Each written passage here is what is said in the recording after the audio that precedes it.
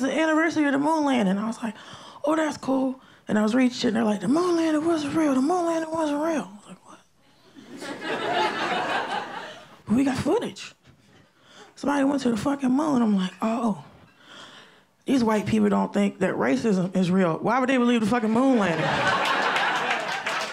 we got plenty of footage for that shit. You know it's not real? Fucking zombies, but y'all are getting real prepared for that.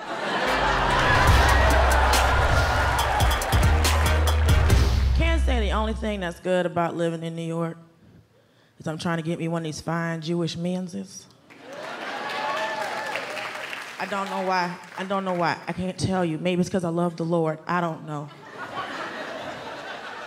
Okay? Because Old Testament God is my favorite God because he played no games.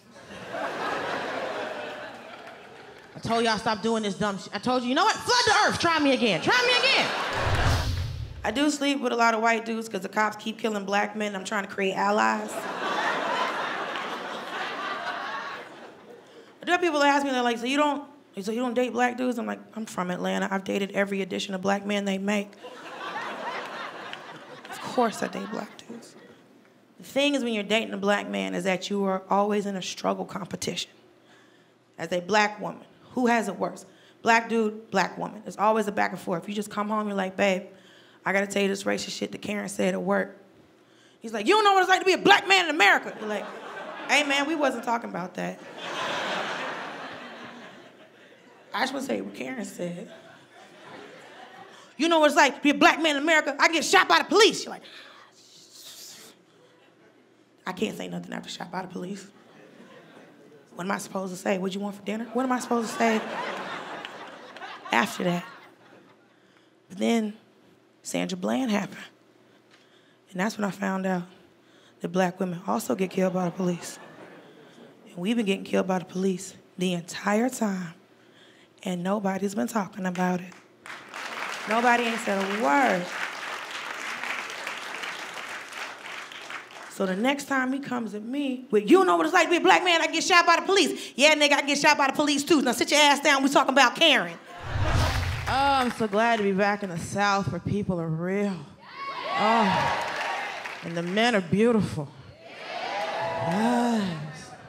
Because I was forced to move to New York because of success. And I hate that place. I hate that place. I hate that place. I hate it. I hate it. Okay? You're not allowed to say that. You're not allowed to say you hate New York. Because people will go, What do you mean you hate New York? It's the greatest city on earth. What? And they always do it the same way. They always look slightly off to the side like a cult member. It's the greatest city on earth. What? Where'd you go? I'm right here. What happened? Is de Blasio paying you? What's going on? I hate that place. It's a Yankee trash heap. I hate it. This is my purpose in life. This is my ministry to tell you.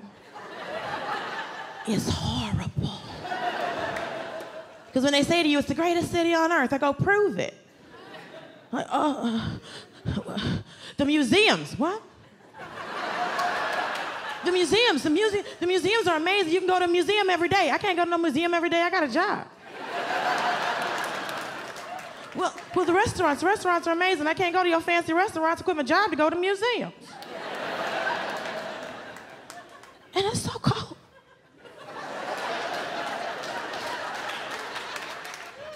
It's so cold.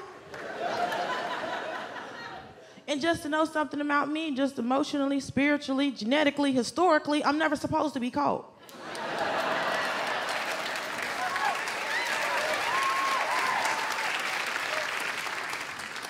so to live somewhere that gets so cold. Like last year, it snowed, there was a blizzard, but they called it a bomb cyclone. A cyclone is a hurricane in the South Pacific and a bomb is a damn bomb. Why are we all of a sudden confused as to what's happening out here? So it happened on a Wednesday, and they told me I still had to go to work. Wait a minute. There's frozen on the water on the ground. Jesus don't want me to go to work. Why I got to do this? What are you talking about? Okay? And they're like, oh, you can still take the train. No, no, no, no, no, no, no, no. Mm-mm. It was seven degrees outside. As the high. Those were all the degrees we was gonna get that day. and you want me to get on this train? I live where the above ground train is. I don't know what these frigid temperatures do to rail lines. I was a theater major, not an engineer. so I get on this frozen train and it jumps the tracks, and all of a sudden I'm in a Final Destination movie. Absolutely not. So it's like, fine, I'll take a car. And I was standing outside, in the seven degrees, freezing my eggs. trying to get to work, and I snapped because it was seven degrees outside, but the sun was out, mocking me like a lamp in the damn sky.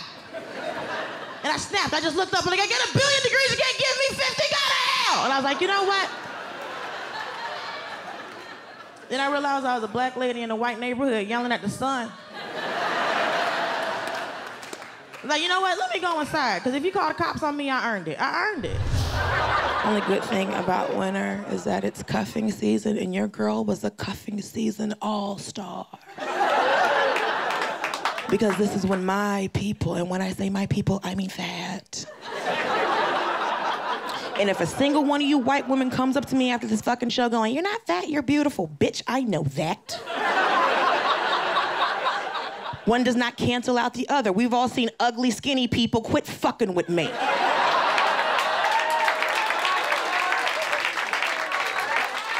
But this is a special time of year where skinny chicks take a knee because they can't keep anybody warm at night.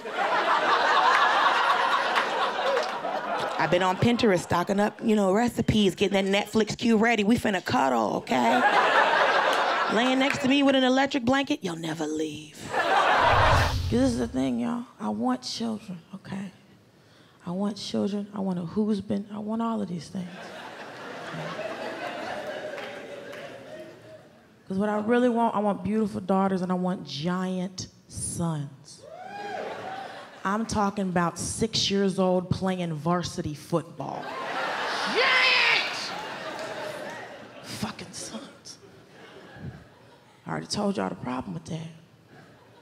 I like Jewish dudes. it's not how you make that baby. I'm gonna make Drake.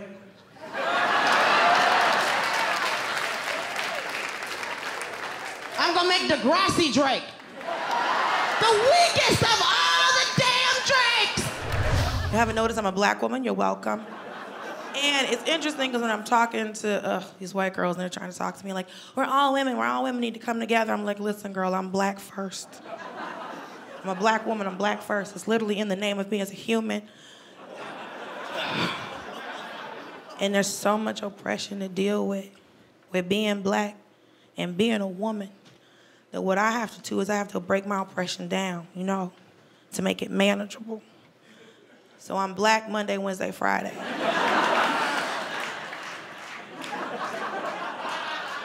I'm a woman Tuesday, Thursday, Saturday. I'm fat on Sunday, even God rested. I'm exhausted. But doing stand up, I got to talk to a lot of white girls because you know they be around. And they always want to talk to me about feminism. I'm like, girl, why? Like, I'm like, like what you want. They're like, we, I mean, there's just so many issues. Like, oh, it's equal pay for equal work, equal pay for equal work. I'm like, cool, cool, cool, cool, cool, cool. I don't want to work. Ever. I want to be a trophy wife. I want to kick people off my yacht because they brought me the wrong wine. I said, Riesling, ocean.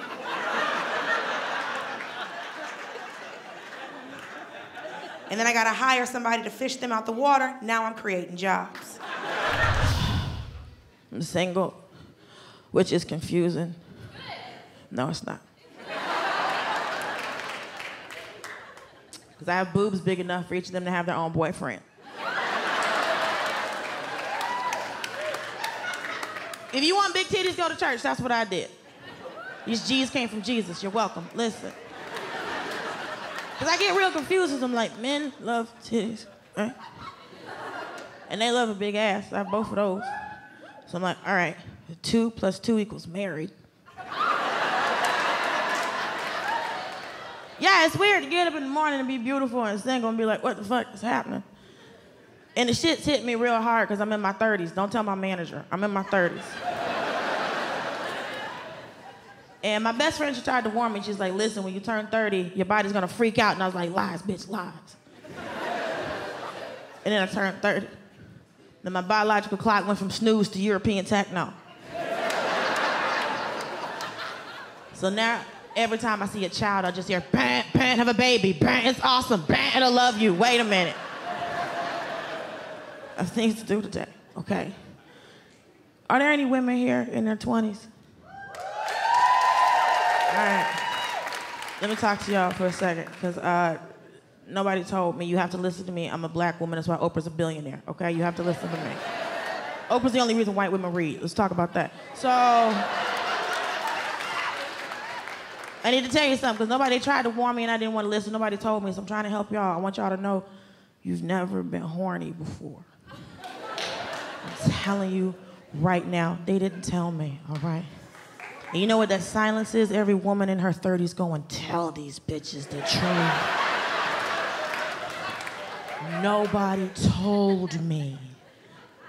Because I don't want to have sex, I want to mate. That's a completely different part of your brain, okay? You don't think I didn't walk in here and figure out at least five dudes I want to bang before this special's over? You're crazy. Hi, sir. I'm not kidding.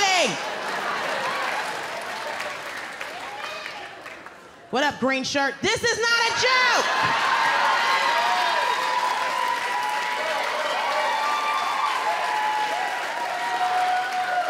Glasses, what's up? Listen, I am not playing with y'all, okay? Because I wake up every morning and my body goes, give me a baby. And I'm like, hey man, I gotta go to work today.